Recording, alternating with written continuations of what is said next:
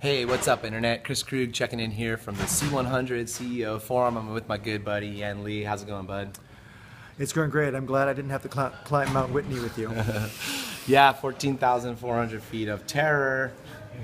Uh, I heard. uh, So if uh, if you only carry my bag next year, I'd love to come with you. Awesome. Well, I think you can make it, actually. And we got a pretty good group of entrepreneurs and kind of tech guys coming, so you should definitely tag along.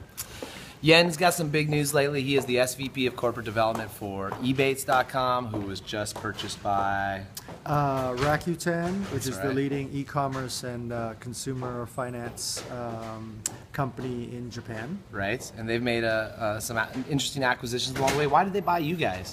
Well, um, you know, a couple of reasons. Um, Rakuten has been very successful in Japan and understands that um, that while um, the Japanese market, uh, well, they dominate the Japanese market, there's tons of growth opportunity globally, and really, Ebates uh, with our with our with um, our market share in China, Korea, Canada, and the U.S., as well as a um, uh, uh, killer uh, management team, was just a really good addition to the Ebates family, uh, to the Rakuten family. Awesome, man. So you're a C100 charter member. You're Canadian, living down here in the Valley, and you've been doing this for a long time. You used to be in like product marketing for Yahoo and for City Search, and tell, so tell me a little bit about that. Well, I was lucky enough to come down here in '96 to help found uh, City Search San Francisco, and you know, been uh, fortunate to be part of a bunch of um, successful companies like Yahoo uh, and Groupon. Had some successes that, uh, frankly, I learned uh, even more from. Yeah, man. They're now successes, and um, and uh, you know, Ebates has been great because it was one of these uh, rare, underhyped Silicon Valley companies with incredible consumer loyalty, and uh, we're fortunate enough that Rakuten uh, valued that um, that base of uh, consumer uh, members that were built.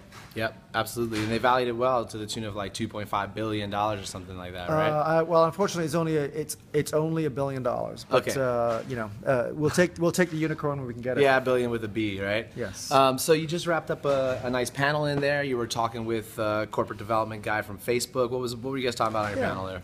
We're talking about um, how to uh, how CEOs can position uh, what CEOs should do to position themselves uh, to be to be acquired. Um, the reality is that you know 97% of uh, tech exits are acquisitions, and if you look at the um, exits over $300 million, you're seven times you're still uh, seven times more likely to be bought than to go public. Right. And so it's about uh, finding, you know, the building the relationships with the right um, acqu- acquirer to have an outcome like a Nest, which uh, Google bought for three billion dollars, or Facebook buying WhatsApp for Right. nineteen billion dollars. 19 billion with a B. Those have both had B's on them. Awesome. Yeah. And uh, you know, we're talking about you got to start investing in those relationships immediately, even though, as a CEO of a startup, you always already have too many things to do in a day. You just got to invest. Um, It's part of the life, man. Yep. Yeah. And you learn, uh, you build those relationships that meet, might lead to an exit, uh, and you also uh, build relationships that might lead to product or channel acceleration. Right. Awesome. Well, hey, thanks. You're doing a great job down here with the C100, you know, supporting young tech companies as they come through. I've seen you work with lots of them and just like all around good guy to be around, knows lots of smart people, lots of fun to spend time with, and hopefully you climb Mount Rainier with me next year. Oh, that'd be great. KK Thanks. and Yen Lee signed out from the Google HQ at the C100 CEO Summit. Bye.